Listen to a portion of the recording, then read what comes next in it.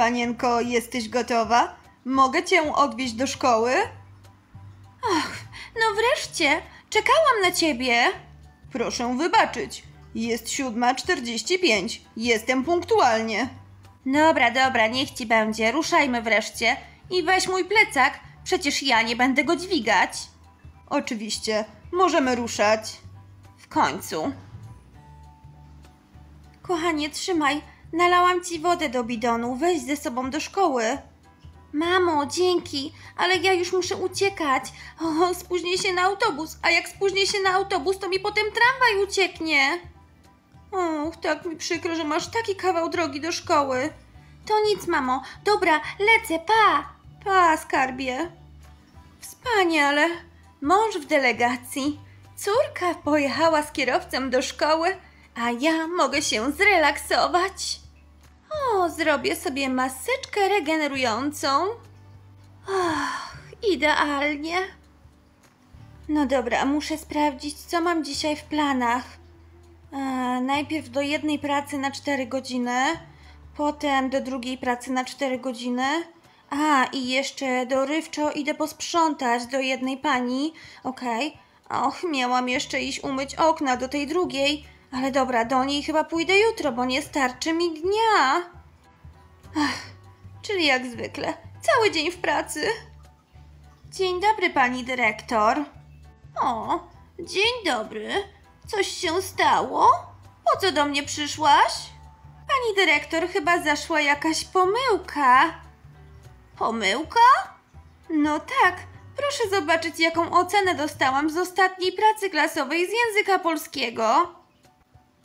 Hmm, nie widzę tu żadnej pomyłki. Dostałaś taką ocenę, na jaką zasłużyłaś. Pani dyrektor, przecież dobrze wiemy, że nie mogę dostać takiej złej oceny. To zepsuje moją reputację. W takim razie powinnaś się więcej uczyć. Hmm. No cóż, może to panią przekona do zmiany oceny? O, no dobrze, mogę zrobić wyjątek. Świetnie. W takim razie proszę wpisać mi szóstkę. O, dobrze, nie ma problemu. No to dziękuję, do widzenia. Do widzenia. Alicja, gratuluję. Dostałaś szóstkę z pracy klasowej. Naprawdę? Och, w takim razie warto było uczyć się tyle godzin. Tak, widać, że się uczyłaś. Napisałaś przepiękne opowiadanie. Dziękuję. Cieszę się, że dostałam szóstkę. Proszę, to twoje opowiadanie. Pokaż je mamie, na pewno będzie z ciebie dumna. Oj tak, dziękuję. Wow, szóstka, ale ekstra.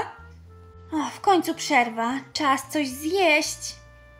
Hmm, kupię sobie przepyszną bagietkę z kurczakiem. O nie, zapomniałam i śniadania, i pieniędzy do szkoły. O, a tak burczy mi w brzuchu. Ej, jesteś głodna? Mogę ci pożyczyć jakieś pieniądze, jeśli chcesz. O, no w sumie, jeśli byś mogła, jutro ci oddam. Spoko, no nie ma sprawy, to tylko kasa. no, może u ciebie to tak wygląda. Ach, ja jeszcze dzisiaj nic nie jadłam. Wybiegłam szybko z domu, żeby zdążyć na autobus i na tramwaj do szkoły. Jeździsz do szkoły autobusem i tramwajem? O rety, ja to bym się zgubiła. Nie jest tak źle, tylko trzeba trochę wcześniej wyjść z domu, żeby zdążyć na ósmą do szkoły. No dobra, chodź, kupimy sobie bagietki z kurczakiem. Są wyśmienite. Mmm, dzięki. Ta bagietka faktycznie jest pyszna, nigdy takiej nie jadłam. Serio? Ja ciągle muszę sobie kupować jedzenie. Hmm, ja z mamą czasami chodzę do baru mlecznego, ale zdecydowanie bardziej wolę jej obiady. Moja mama wyśmienicie gotuje. Ech, Powinna być kucharką. O, ja to w sumie nie wiem, jak moja mama gotuje. Chyba nigdy nie zrobiła mi obiadu. Co? Jak to? No, wiesz co, bo my mamy kucharkę. Ach, ja pochodzę z bardzo bogatej rodziny. A, rozumiem. Mamy kucharkę, mm, mamy sprzątaczkę, mm, a do szkoły odwozi mnie kierowca. Dlatego tak się zdziwiłam, że ty jeździsz autobusem i tramwajem. A gdzie ty w ogóle mieszkasz? Mieszkam na obrzeżach miasta. Hej, ja też! No, ale ty to pewnie w tych wielkich domach jednorodzinnych. Ja trochę dalej. A, hmm, w ogóle to nigdy cię nie widziałam w tej szkole. ja ciebie też nie. Dzięki za tę bagietkę. Będę już szła. Nie lubię się spóźniać na lekcje. Okej, do zobaczenia. Pa! Całkiem miła dziewczyna. Myślałam, że tacy ludzie, co nie mają dużo kasy, nie są tacy mili. Kilka godzin później. Ach, jesteś moim kierowcą, a nie opiekunem. Nie musisz mnie odprowadzać do środka do domu. Przecież trafię. Panienko, moim zadaniem jest odwiezienie cię bezpiecznie do domu. No więc właśnie, odwiozłem cię do domu. Proszę, plecak.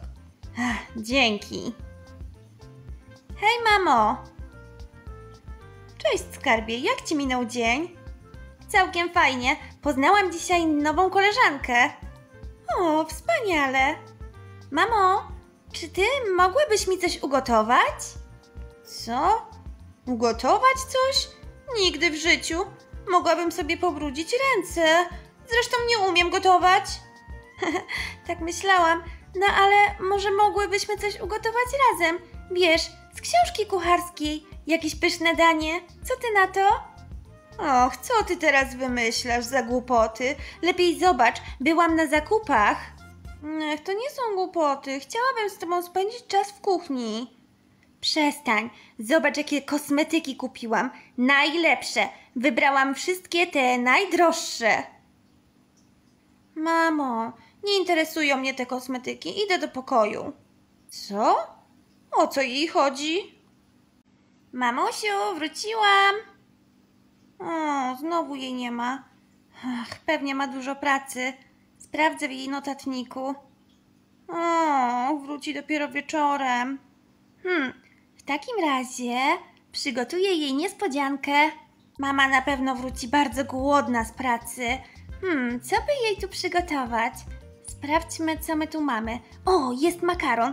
Zrobię spaghetti. O, dobrze, że mama nauczyła mnie, jak przygotować przepyszne spaghetti. Są wszystkie potrzebne składniki. O, szkoda, że nie pomyślałam i nie wzięłam numeru telefonu od tej dziewczyny. Nawet nie zapytałam, jak ma na imię.